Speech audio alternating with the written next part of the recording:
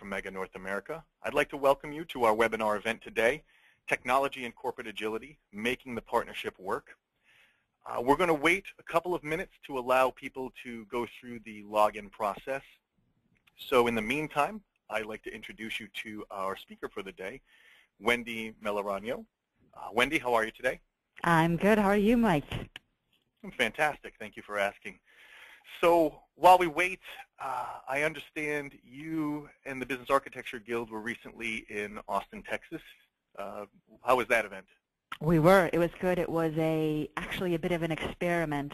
So we partnered up with the OMG and had an innovation workshop basically where a number of collaborative teams got together around various topics of business architecture and presented and was very interactive and I think a, a good example of the co-creation that can happen in a community. So it was a good thing and uh, we'll be doing it next year again. Oh, that's that's great. Yeah. And so the the attendees at the event uh, seemed to respond well to how it flowed and the way the, the sessions went, and like you said, the interaction was strong? They did. They loved the interaction. I mean, it literally, we had 20 minutes of presenting in every session, and then we were up and whiteboards and trying things and giving input and having interactive panels. So the interactive format went over really well, really well. So it's good. It's maturing this, uh, community. Uh, in this day and age, right, I think just people, that's the expectation. I think they've wanted it forever, Got right? it. Going back decades, everybody's wanted, nobody wants to sit, you know, in the back and Yep. watch it like it's on TV. But uh, now that I think of events are doing this, the social media allows uh, Mhm. the customer base to do that with uh, their, anyone that provides any service or product, right, to the community, B2B or B2C, whatever Mhm. it be. So I'm glad to hear Absolutely. that format worked well. Yeah. think, and I think um, it's, yeah. The type, that's the type of thing where I think people want to come back to that because they Mhm. understand that their contribution gets considered as part of the group, right? Yep, yep, and I think it's a sign of the discipline maturing as well, right? Because it's now in the hands of a community that are doing things together. Yeah, exactly right. And that's that's what it's all about, you know, the collaboration.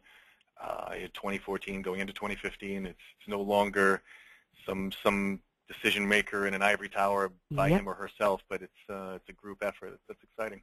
You bet. Um, Yep. To those that are joining in, we're just waiting another minute or two to allow people to go through the login process, and then we'll begin the actual presentation. So, yeah, Austin, any what else is on board for the Business Architecture Guild for the rest of 2014?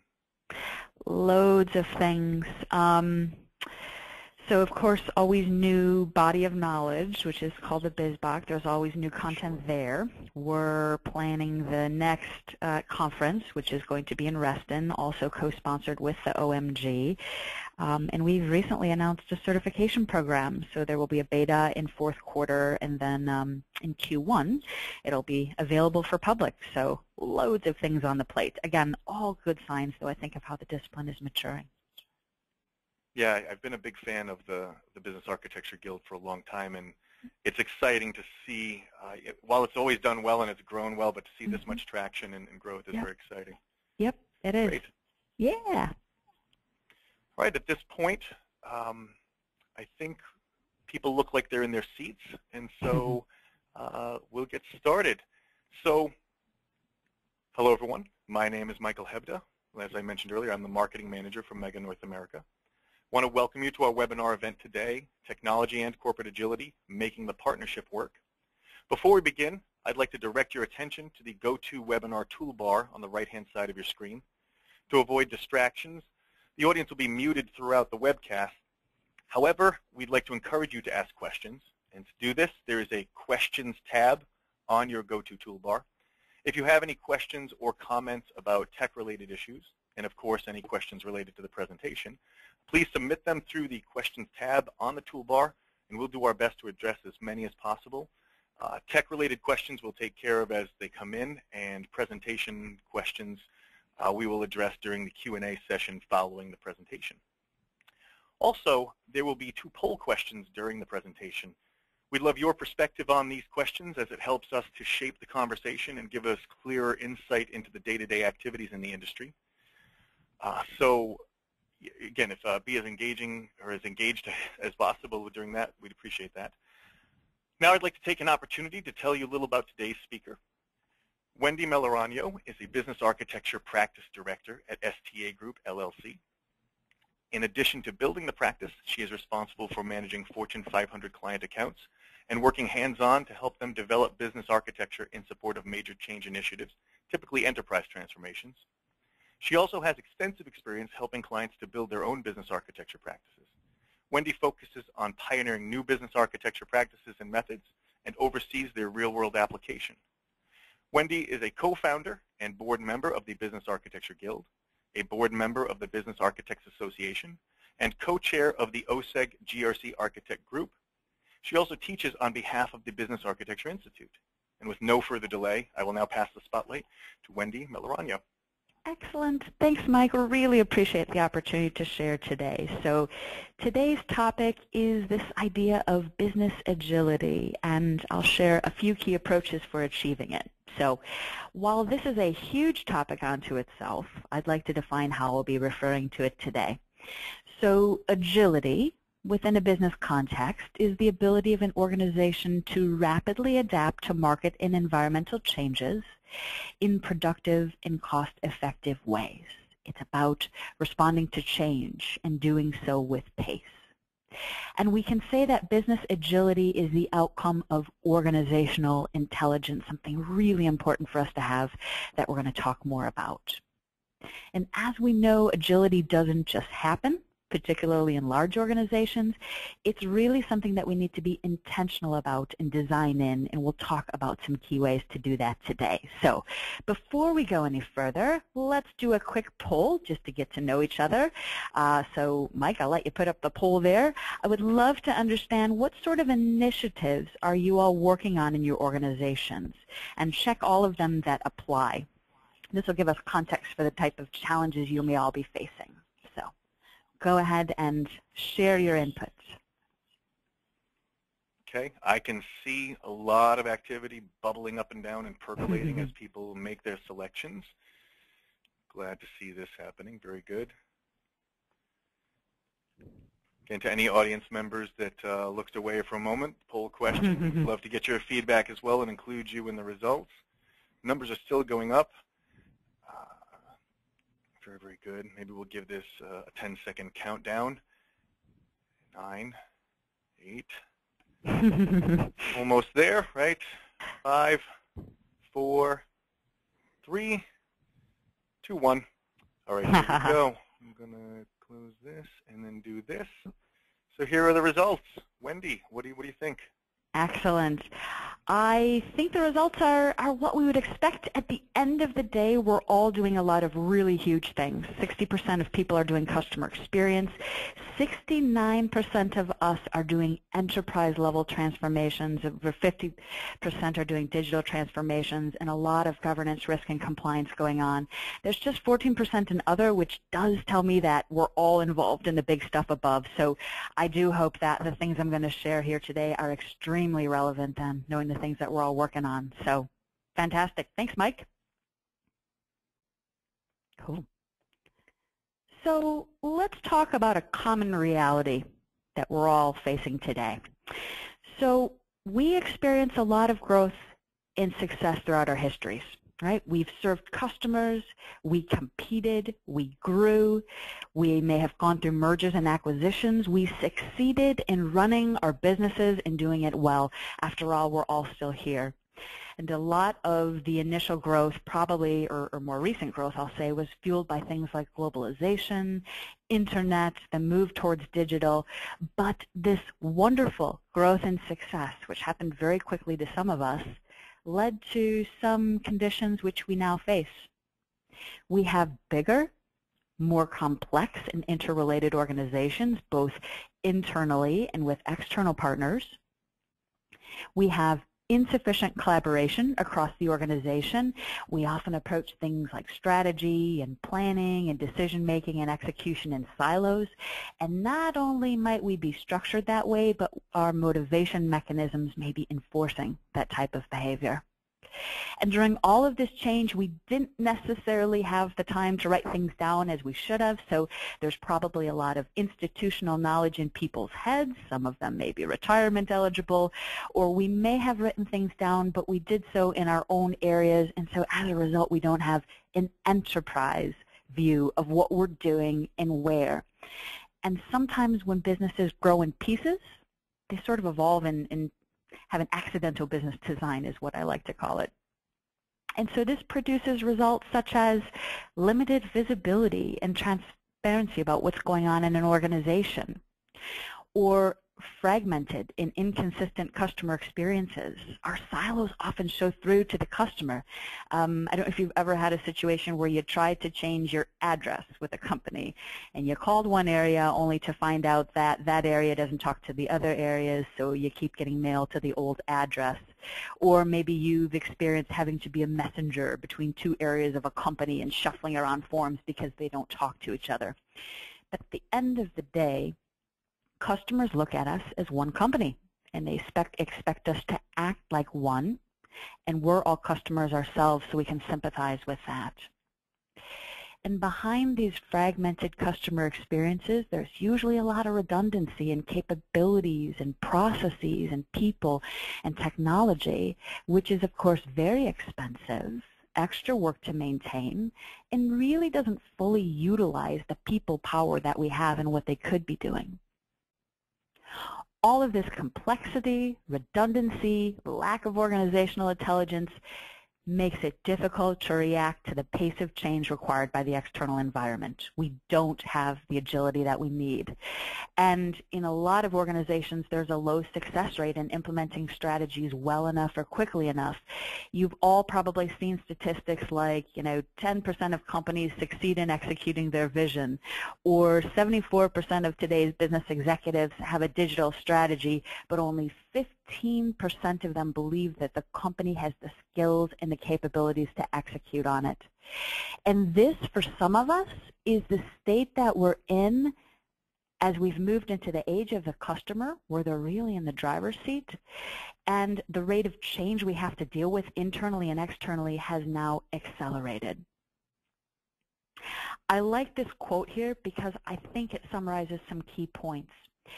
Even if you have a perfect strategy and a competitively advantaged business model, it will still fail if the organization isn't aligned from strategy down to execution. And that's what we're going to be talking more about today, and that's what I'm going to show you an example of today. If we don't know how to execute on the strategy or if we're working at cross purposes, we just can't be as successful in the end. So I'd like to illustrate an, an analogy. And we'll go through an ideal situation and then a not so ideal situation to business change. And the analogy I'm going to use is an office move. I think it's actually spot on to illustrate some things that happen. And my company has recently gone through a move, so this is a topic familiar to me uh, in recent memory. And then later on in the presentation, I'll walk you through an example of a customer experience transformation that applies the ideal approach that I'm going to share here. So in this situation, let's say we work at a company, and it's a big company, so we have a big office we're in.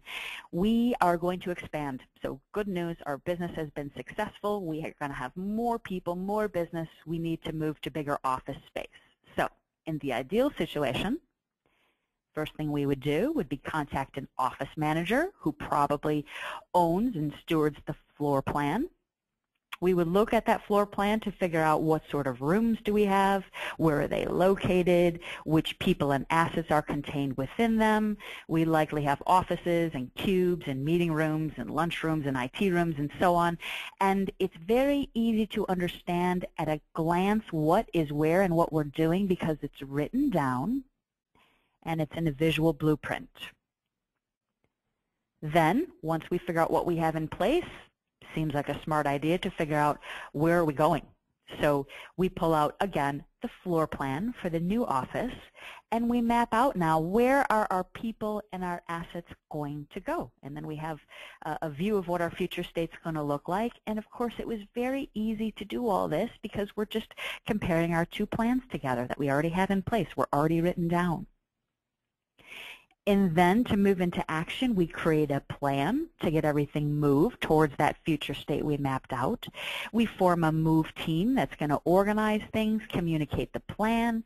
Together they decide we're going to outsource. Um, they obtain packing supplies for everybody, give instructions so we know what to do with our boxes, communicate downtime over the weekend, and then we do it right? Everybody moves, we pack, we unpack, we're back in business. And the end result is a seamless transition to the business and the customer, and efficiency from both a time and cost perspective. So that all seems really obvious. That's kind of how everybody moves. But now let's look at a not so ideal scenario that could happen if we didn't have our affairs in order. Same trigger. We need to move. We're expanding. But in this case, we don't have a documented floor plan. And guess what? The office manager that created the office five years ago has left, and no one's responsible for even knowing what rooms we all have or what people and assets are in each. Everybody basically comes to work, interacts with the people around them. Some people don't even realize we house our own IT in our office. So somebody volunteers to do a room-by-room -room inventory to at least understand and write down what we have. As far as determining where we're going, it's decided that it would take a lot of time to figure out where everybody needs to go in the new floor plan. By all means, look at how long the room-by-room -room inventory took. Let's not spend all of this time planning. Let's just get executing and get things moving faster. Everybody assumes that they have the same picture in their mind about what the new office looks like, even though no one's seen the plan, because it's an office is an office, right? When it comes time to determine how we're going to do that move, it's decided that since our areas are pretty siloed in the office right now and everyone's unique and knows their area best, everyone's going to plan and execute their own moves on their own. So, of course, a few companies decide to contract different move companies. Every area is running out getting supplies, doing redundant work. Nobody, nobody is labeling boxes, and they all decide to move on different schedules. So in this case, as you can imagine, the actual move is a disaster. It takes a very long time. Some people move over before others. As others keep arriving, they are walking around, claiming offices. Things are reshuffling. Boxes are arriving out of order. People are trying to get back to work. They may have a desk but no computer or no supplies. Some things are broken, missing, and in all of this chaos, we have a group of clients coming on Friday for a, a site visit who are now going to be exposed to our chaos. So the outcome in this case is significant disruption to both the customer and the business, and downtime in cost that was absolutely unnecessary if we had performed this in a coordinated way. So I laid out this example for a reason, and when you look at the situation from an office move, it's pretty obvious to all of us that the first scenario is the right way to do it. However, when it comes to executing on strategies and ideas in our big organizations with a lot of people coming together, sometimes we resemble aspects of that second scenario. So when you apply these concepts to your own organization, and many of us are in the same situation because of our own growth and success, which is a good thing, are you more like the seamless move that we covered on the top or more like the disruptive one on the bottom? And some questions you can consider are, do you know what you're doing across the organization and where? Do you know what capabilities are being performed and how, what people are doing, what the supporting technology is doing? Do you know where the redundancy, conflicts, or missing integration points are, particularly those that would be seen by a customer?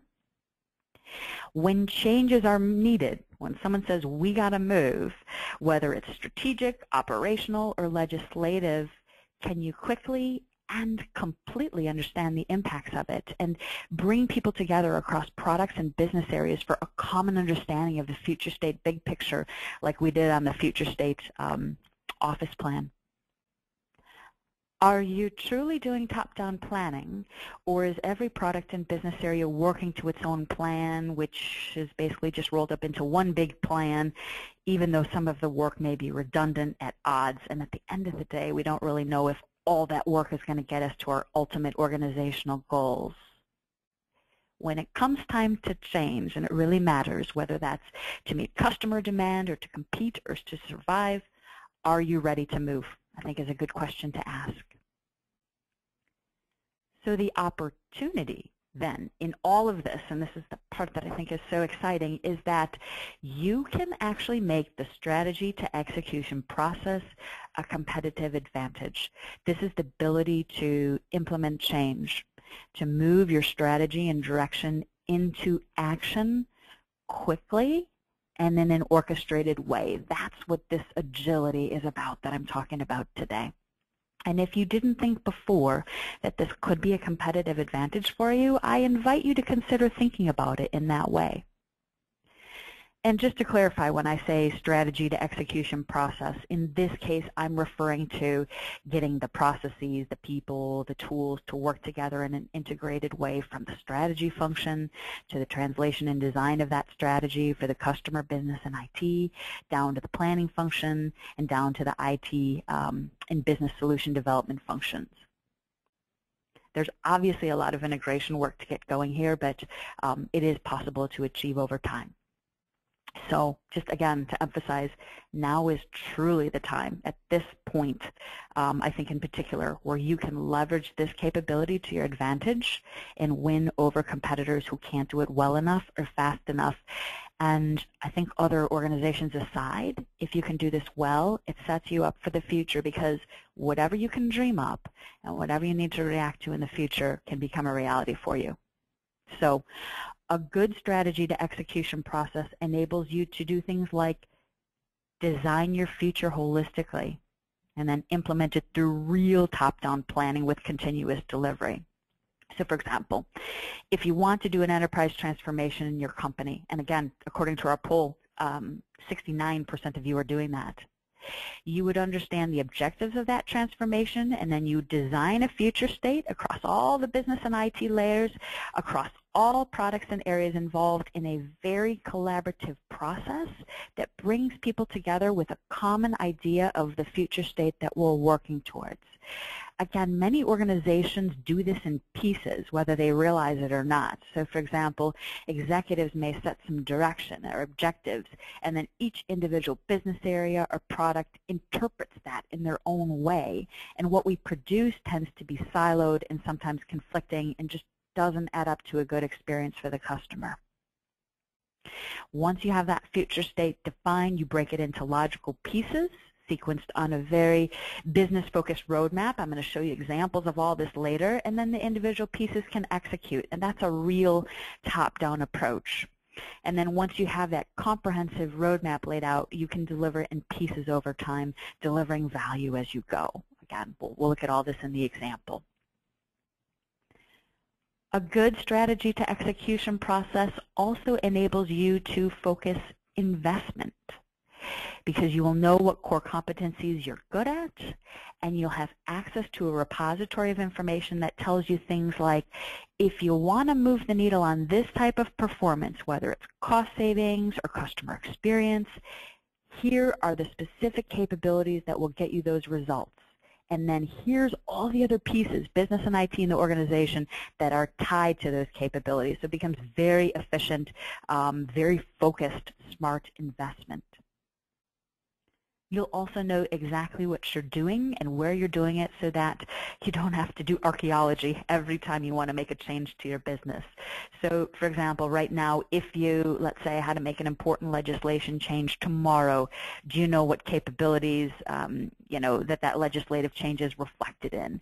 Do you know which business rules would be impacted uh, by that? Do you know what IT applications are applying those rules? The cool thing is that once you have these things written down and you have them related to each other, it saves you a tremendous amount of time from having to figure these things out again and again. Basically, sometimes what we do is the equivalent to the move situation I laid out, where we had to go door to door to figure out what was happening in our own office. It's just helpful to have this big picture with all the pieces and parts and how they fit together so we can call on them when we need to. And when you have all these things written down, it helps you to make better and more informed decisions because you know all of the pieces. And it's not guessing or thinking we know, it's really knowing that we know. And with all of that in place, you can truly create experiences that are integrated for the customer and increase efficiency by streamlining and integrating and reducing the redundancy of capabilities and their associated processes, people, and technology. So at this point, I would like to share with you a real customer experience transformation as an example of putting these ideas in action. So it's not just words. But before I do that, a quick poll. So let's uh, bring up the second poll here. And in this one, just share your thoughts on how well does the strategy to execution process work in your organization. Basically, how effective is your organization from taking a strategy or idea, getting it through design and planning, and down into execution for reality. So I see people are voting.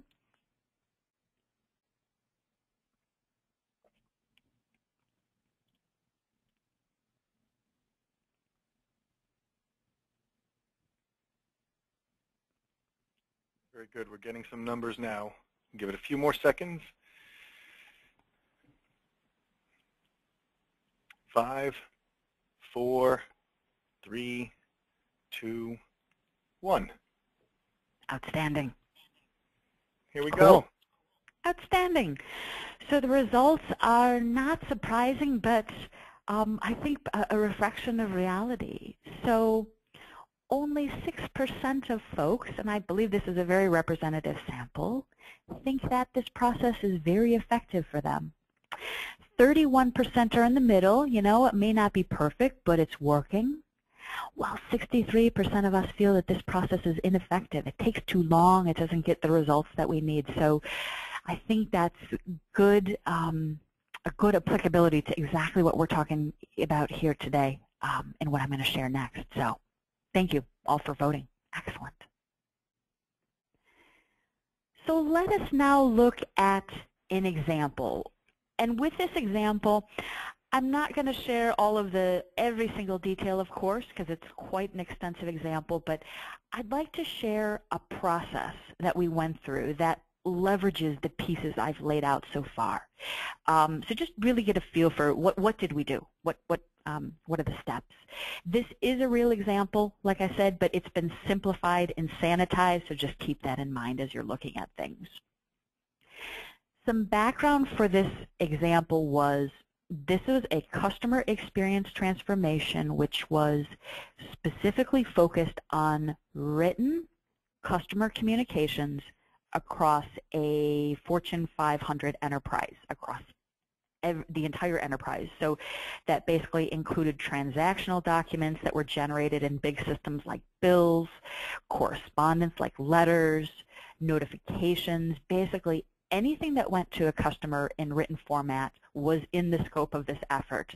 And as you can imagine, there were millions of these things being generated across the company, so the scope was extremely large to get our arms around.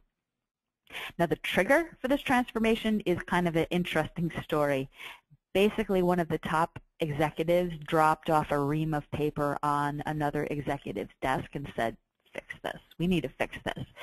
And the ream of paper was all of the communications that that executive had received, because he was also a, a customer of the company, all the communications that he had received within a year. And there was that much paper.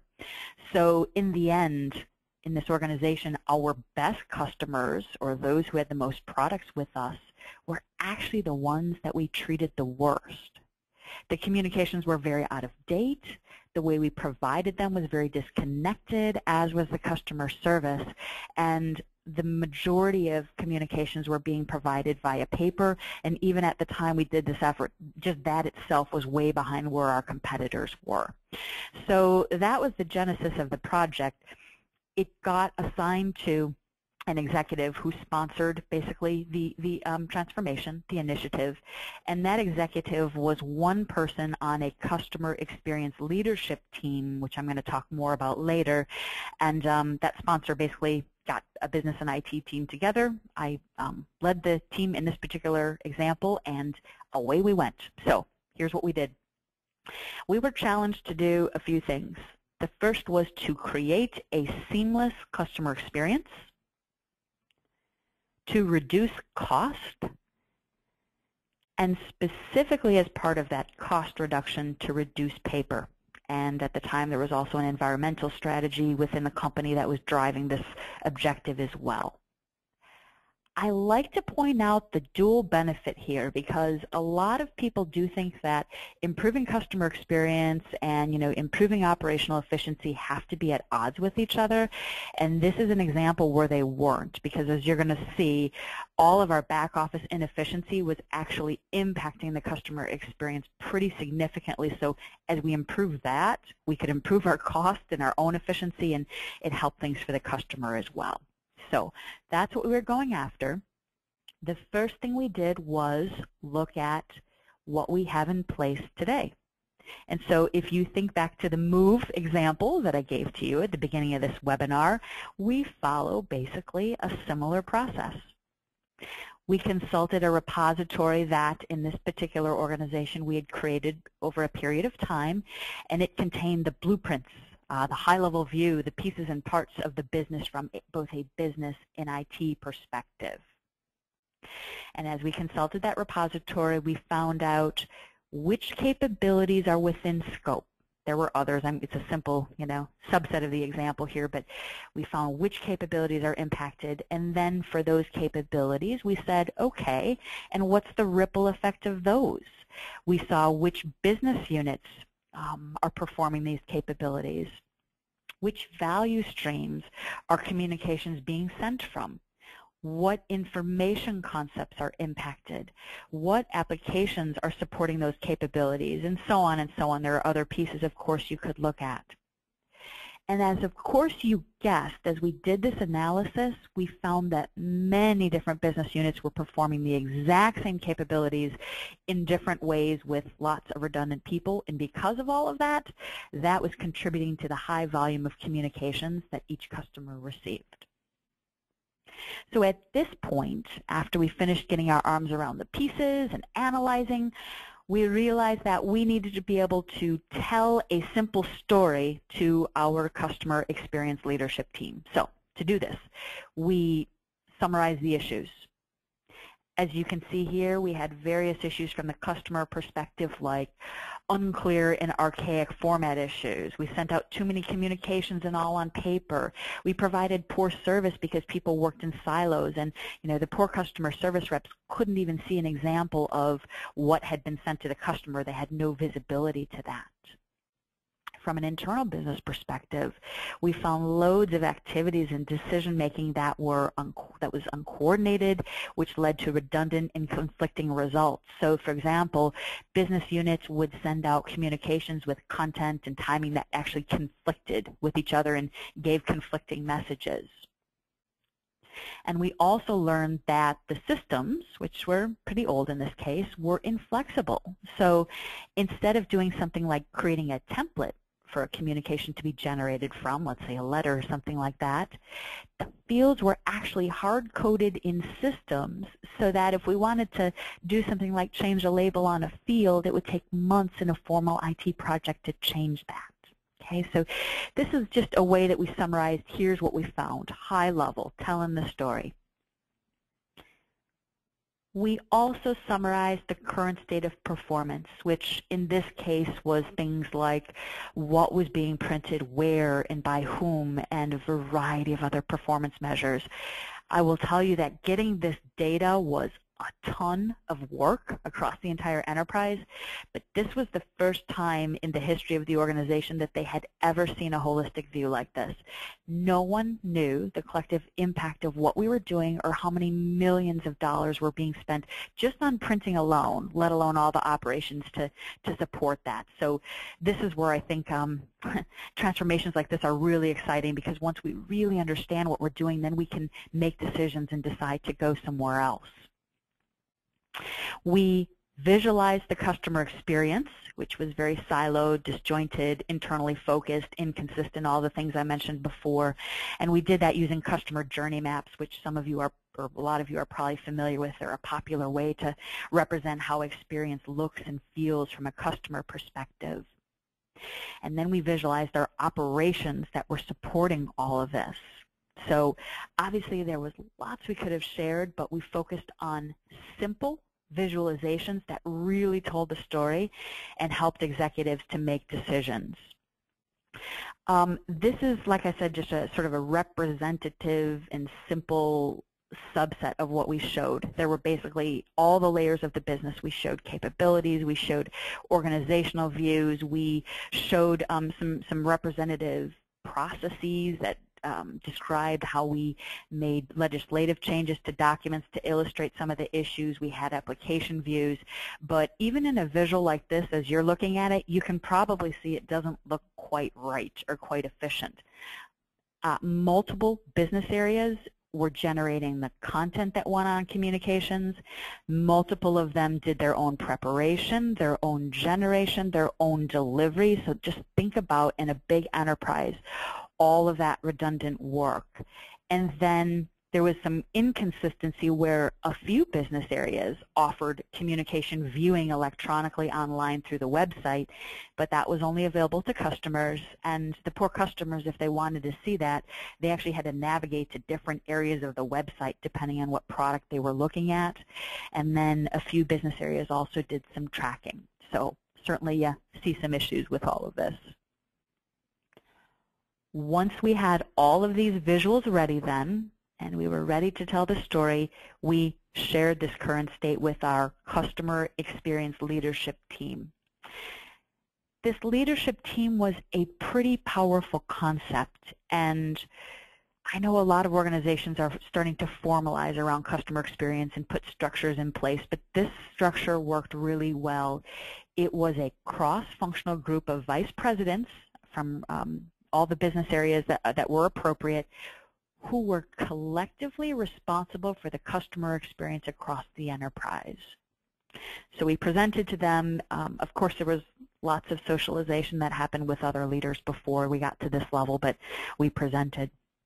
And when we shared what we found in this very holistic, very visual way, the leadership team was shocked, I would say, enlightened, um, but the root causes for why we were having poor customer experience and, and inefficient was pretty clear.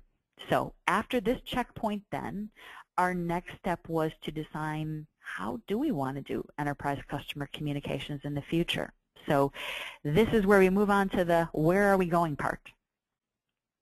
So first we researched customer needs and wants we researched what the competitors were doing, and we researched best practices, business and IT perspective, on how to manage customer communications. What's, what's possible? What are other people doing? We got this information from, you know, industry analysts. Uh, there was an internal customer insights group that we worked closely with, subject matter experts in, you know, inside the company, outside the company, and we got key insights like customers really want to have things electronically, and they want to have the ability to set a preference for how and when they want to receive things. So all the ideas we got here and these best practices um, funneled into our future state then. We spent a good amount of time then rethinking, redesigning the future state, and now basically re we repeated similar steps as I laid out in the current state. So we defined and summarized the key concepts that would encapsulate our future. So from a customer or inside out perspective, excuse me, outside in perspective, future communications would have a consistent modern format we would actually capture preferences for how people wanted to receive their communications. We would create one area of the website where they could log in to see all of their communications aggregated together, not going to different parts on the website. And the customer service reps could see all of those things too and provide a very personalized, integrated service. From an internal or an inside-out perspective, our future design would have coordinated uh, business and IT activities and decision making across all areas, which is of course no small task to execute on, but it was the right vision to assert. We would build shared enterprise capabilities and solutions whenever it made sense, and we would build the systems in a way that they were much more agile, not the hard coding that we had done in the past. We, of course, redesigned the customer experience to be integrated and consistent. And then we redesigned the whole operational side as well at a high level. So some key points you can see here just to give you an idea of the process was in the future we asserted that all business areas should still generate their own content for communications, but all of the other capabilities should be centralized from a people, process, and technology perspective. In the future, every communication would get tracked and would be able to be viewed by the customer and the customer service reps in a central area. And again, like I said, we there's multiple layers. We showed all the relevant um, layers of the business at a high level as they would be redesigned. And we did it as sort of overlays or transparencies just to give you an example of one here's where we would lay the applications on top of our capabilities to basically show, um, you know, what, what um, applications or set of applications, current or new, would need to be updated or built to support the capabilities as we had defined them. In this particular case, we needed to purchase a, a fairly large communication um, system that would enable us to perform multiple capabilities as you see them here. So then after we had defined the future state, we went back to the customer experience leadership team um, to share the future state. We presented the proposed design so that they could see what was possible so they could see what we were recommending would be centralized, see what the scope of applications was that needed to be developed, and very importantly, to understand the implications of the future state because a lot of people will sit in a room and say, yep, that all sounds good, let's centralize that, that makes sense, but they need to understand implications uh, as they make those decisions. For example, in this case, a number of areas needed to give up some decision and making control um, in favor of a more centralized group that would be looking out for the enterprise. Or the roadmap that would need to be developed to execute on all this would require significant funding. So all those things are discussed, but the, the power is in the process and the visuals that help to drive leaders to consensus, make decisions, and have a common mental model of what the future would look like. No guessing, no different ideas in people's heads. And then the visuals that we created actually became a constant point of reference for everybody that was involved in this effort. You know, they would walk around with the current state and the target state and the roadmap, or, you know, we would have these things printed um, and posted up on the wall. And we also used these documents when it came to governance activities and making decisions and reconciling things down the line as well. So after some iteration, we received approval from the leadership team and then went on really to do the last step we're going to talk about here, which is creating a high-level roadmap. So again, equivalent, you're probably tracking this to our MOVE process that I presented earlier. But this, as you can see, is very high-level, very business-focused, and it tells us how are we going to go about accomplishing and breaking up that really big future state dream into pieces that we can deliver over time and in ways that we can continually be delivering value, not just, you know, building for years and waiting towards the end. The roadmap also gave us a business view of the work which we could measure progress against um, because in this case, you know, if sometimes the details and what we're working towards gets lost in the program and project level. Again, highly simplified view of what we actually provided here, but you can see key concepts like the fact that we developed different capabilities and stages over time. And then once we had certain capabilities in place, we started, um, you know, we'd put our transactional documents through them, and then we put our correspondence through them, so we were always um, rolling this out in pieces. There were pure business parts of the roadmap, like setting up governance structure and processes to manage documents. And of course, change management is extremely important in all of this because um, this is huge enterprise change, as you all know. Um, so those incurred really throughout the entire initiative as well. and from here on out then, it was, uh, you know, again, that was presented to the leadership team. And then the execution work happened, right? And just for reference on timing of some of this, because you're probably wondering, wow, how long did all of this take? But the current state and the future state took us three months, and the roadmap took us another month.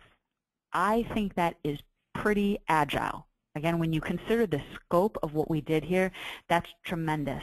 Um, and then it's pretty much layers of an onion from there. So problem solving, designing, things like that got more detailed as we went along. And the detailed execution behind this was years actually to implement it, but you could see how quickly we could get our arms around the problem just because we had the processes and, and the thought process in place. So I do hope this example has given you idea of really big things that you can accomplish once you commit to having some key information in place, good strategy to execution process, and enterprise collaboration at all levels. And the beauty of this process is that it does work if you invest in it and you allow it to. I think people get really anxious to get into implementation because it's something they're familiar with and they feel like they're making progress by executing and doing things. But the key point, just like it was for the move, is that you actually need to slow down to speed up. So I do like to leave people with some action items because the examples I've shared here have been enterprise level and, and quite large. So just to share a few ideas with you. When you return to work in 15 minutes, what can you do with this information? Where can you start? So one thing you could do is find out how your strategy, architecture, planning, and execution functions and processes are working together. This can be a challenge, of course, if you don't have visibility to or relationships with the people and the functions. But if you do, you can start putting pieces together and you can start asking some questions and sharing some ideas of things that you learned today. If you have some sort of an enterprise planning process in your organization or some sort of a, a, process that spans from idea to execution or something of that sort, then you're ahead of the game. But you can actually start there, look and see how well that process is working and where can it be expanded and improved and again, how can you infuse some of the ideas that I shared today into that. If the ideas that I shared today are really new to your organization, then introduce ideas when you can over time and within your span of control. Everything starts in small steps and gets bigger, as we know. So get some success, let the ideas spread, and then you can do bigger things. So for example, on your next effort, as you're doing that effort, try cataloging the pieces like capabilities and business units and value streams and IT applications. Just get the pieces cataloged and relate them to each other. And for that scope, then you'll have a foundation for yourself which you can reuse for impact analysis and other business insights. It's just, you know, step into this as it's possible. When your organization is ready for it, identify an opportunity to pilot something ideally something that's cross-business area like the communication example that I walked through. However, um, realistically I will say taking on something of the size that I just explained is probably not a good place to start if you're new to the process, but it's, it's a place you can get to. Um, look for something with the same type of ideas on a smaller scale until the ideas and these sorts of methods becomes institutionalized and your organization is ready for it. And things to look for when you're looking for a pilot, obviously look for a sponsor who is open to new approaches, will advocate, um, look for something you can succeed at that is not too big in terms of scope. And finally, continue the learning process. Continue exploring what's possible, what sort of approaches you could utilize to get there. Um, obviously, keep attending webinars like this. You're going to keep learning more in this space, and um, it's a journey, I think, is the important thing to know. So with that, I would like to thank you all so much for taking time out of your day today to participate in this webinar. I hope you found the information useful. I hope you have some new ideas, and I hope you have a broader perspective of what is possible. Um, I wish you the best of luck on your journey towards enterprise agility and collaboration, and I've shared contact details here if you'd like more information. So with that, Mike, I will turn it back over to you for questions and to close out. Thank you, Whynde. So a reminder to the audience, we have a couple of questions now, but uh, we, we welcome any other questions that people may have. To communicate those to us, feel free to use the questions tab located on the uh, GoToWebinar toolbar. To get things started, I'll ask, you've laid out some possible next steps, but how long does it typically take a large organization to put a strategy to execution process in place as you've described it here to the point where they could do something like the customer communications example that you shared? Yeah, that's a good question, probably maybe the million dollar question that's on a lot of people's minds. But again, just to reiterate, this is a journey. Um, I think in a large organization, if you had some serious focus on this, you can perhaps get there in three plus years to get everything really working. But the important thing to keep in mind, though, is even if you don't have the entire process working from end to end, you're going to be making progress in steps and getting value along the way. Now, the organization from which I shared that example started in the very smallest way that most people do. They started piloting these ideas on a very small scale in one business area, um, and then when they caught on, years down the line, they could actually do something of this size. So again, to summarize, it's, it's a three could be a three-plus year journey. I mean, it can be faster if you're efficient, but uh, sometimes organizations that are large it takes a little bit of a little bit of a while. Another question here. Uh, which are the best artifacts to best communicate your journey? Um, and just in terms of what we mean by journey, um, I'll, I'll, answer that in a couple different ways so if we mean specifically a customer experience journey, uh, there's actually an artifact called a customer experience journey, and there are life cycles and things like that. This is a bit of a new emerging discipline, and you actually craft out from a customer's perspective, what does each step um, when they engage with us, what does it look and feel like, and what do they um, experience um, in each of those steps? If you're asking from a bigger perspective of this entire journey and what are the relevant artifacts, I think it's to start with, the foundation is a repository of, like I said, the pieces and parts of an organization, key ones being capability, org, info, value stream, IT applications, and so on. And then from there, you do visualization. So when I was talking about what we were sharing with the leadership team, those were all visualizations out of a repository as well as just, you know, custom pictures that designers had done. And truly, I think the right artifacts are, are the ones I laid out, you know, a current state view of experience and operations, a target state view of experience and operations, and then a high-level strategic roadmap. Those are at least cornerstones to get you started. So the follow-up question to that was, what do you have to learn to be able to do this? That's a really good question. Very good question. I think some of the fundamental things to learn are you need to have a basic understanding, I think, of the big pieces of generally speaking, what does strategy do? Generally speaking, what does an enterprise planning function do? Generally speaking, what does business and IT architecture do? And then how does that fit into solution development down the line. Obviously, that's a lot for someone to know. So this is very much a partnership and a collaboration to get something like this in place. I do think that um, like a business and IT architecture are pretty front and center.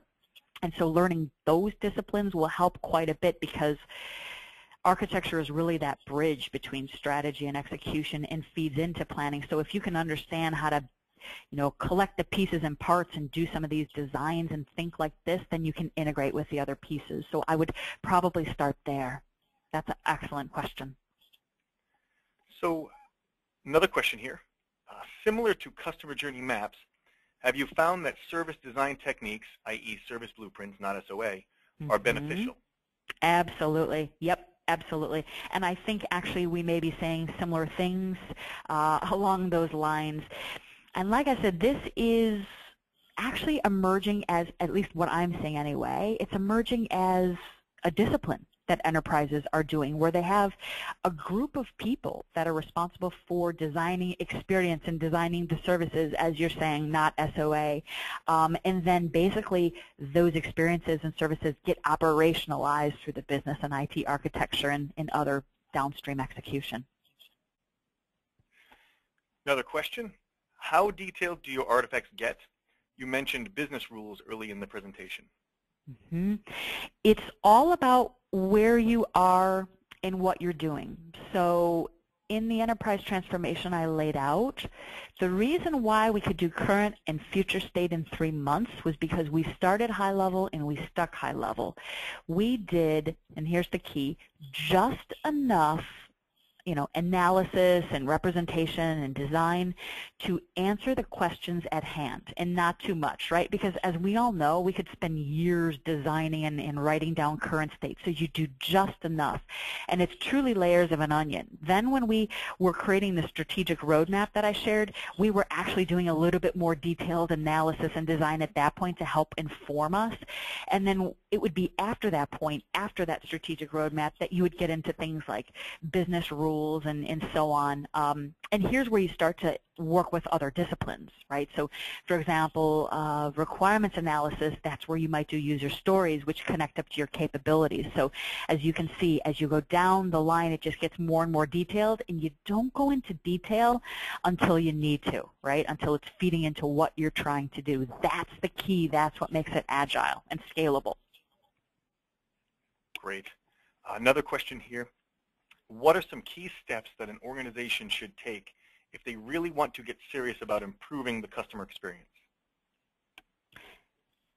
I think there's a few things that you can do. The I think the most important thing I'll focus on is this because in you know the, the time we have here I can't cover all of them, but really embedded into the organization. That's, I would say, the top recommendation I have. So there should be strategic objectives around customer experience you should probably eventually have some organizational structure or ownership that is focused on customer experience, whether that's a function which some companies have or a cross-functional leadership team like that was the, the example I gave. It just gives credence and focus and ownership to this really important topic. Um, we've already talked about the experience design and the service design. I think that's another way to embed it. And then there's going a step further, which is creating a culture around customer experience and values around it and embedding it in the reward system. And when you look at some of the companies that are really good at customer experience and you know get awards for it and are written up by the research analysts, they live and think it and focus on it and are rewarded on it every day. And so it's it's truly embedded. Great. Another question here what metrics did you have to make or show to credit your process? Good question. So there are, we can look at this from different perspectives in our particular case, just to kind of keep the answer simple here, it tied back to the objectives that we were tasked with. So there was customer experience, so that was measuring things like customer satisfaction and customer, um, you know, indices around that. And then there was cost savings, um, right? As you remember, that was another one. And then there was literally pieces of paper those things are not necessarily easy to measure and isolate because of course, you know, just look at how you all voted in the first poll. We're all doing loads of transformation and change, so sometimes it's hard to isolate, but it's worth spending time on figuring out how you're going to measure the success of this and that you keep going back to it um, year after year until the transformation's done, I guess even after the transformation's going. So sorry, I'll give a high-level answer to that one because that's a pretty deep one. Uh, let me see. I have a, question here about what is the difference between business architecture and enterprise architecture. Do you want to give your 30-second uh, version of that answer? You bet. So we would look at enterprise architecture as the broader umbrella, including business architecture and then the IT architectures, which would be like an application, data, technology. And Mike, I'll let you comment on that one too if you like. Oh, I mean, right. We could go on for hours about um, you know the differences here, but in terms of focusing on the the the business activities versus the architecting out uh, mm -hmm. all the pieces of the business's ecosystem, I think enterprise architecture has certainly evolved, you know, from John Zachman back in the 80s, where it was very mm-hmm. IT focused. At this point, it has grown and been split. We have IT architecture, business architecture, application architecture, yep. strategy architecture, solution architecture. Mm, yep. Um, so yeah, that's uh, that's probably six or seven different webinars. But uh, indeed, I think to close this out, I've got one last question here, where someone asks, "I missed a kind of feedback loop in your process. How did you cope with failures, e.g., the con the consumer of a product did not like uh, a part of your solution? Did you repeat a full cycle of as-is to be planning?" So we actually had the customer experience leadership team checkpoints were really important and they were short cycles as you can tell. I will say that the sort of layers of an onion process, there's always feedback loops. So as we learn more in detail, we can go back back and shift. Uh, another way to do it is in the future state design. Instead of presenting one future state design, if we present multiple uh, for people to choose from, sometimes that's a way to do it as well. So sorry, just a really quick answer to the question. Sure. And with that, we've come to the top of the hour. And uh, so certainly, if people want deeper answers to some of these questions, uh, I'm sure you know Whynde's contact information is available there. Uh, the people at Mega, we're happy to speak to you as well. You can reach us at mega.com. Uh, otherwise, Wendy, thank you very much for a fantastic, fantastic presentation. This is very good. Uh, to the audience, I say thank you for joining us, and we look forward to seeing you on future webinars. Have a good day, everyone. Thank you.